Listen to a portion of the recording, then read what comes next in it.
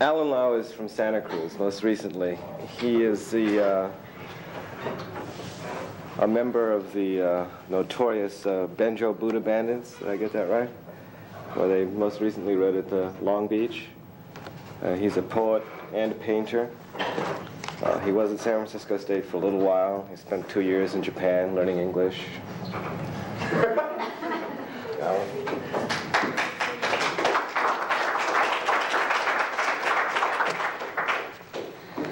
I'm just going to read two poems because it's getting late. Uh, this first one is for a friend of mine who's here today, uh, Hisako Hibi, a really fine, really fine artist. And, uh,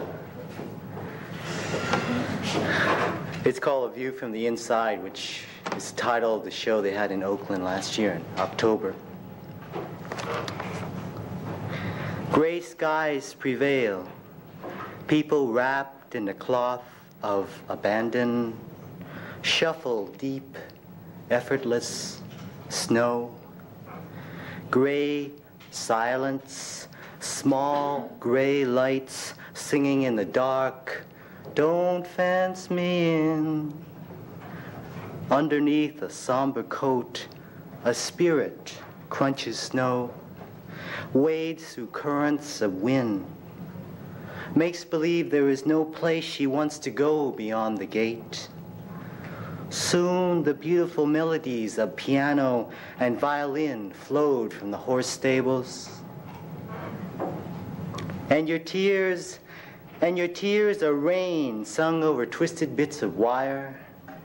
And your tears, and your tears quench even the parch of desert sand.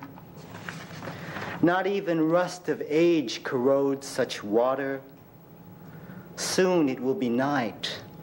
No one can tell the difference when you sleep, but like a coal miner, the darkness of ashes shifts within where not even wind can reach. Hisako, do not worry. Brighter colors will visit you soon. Hisako, the sun wants to pose on your lap.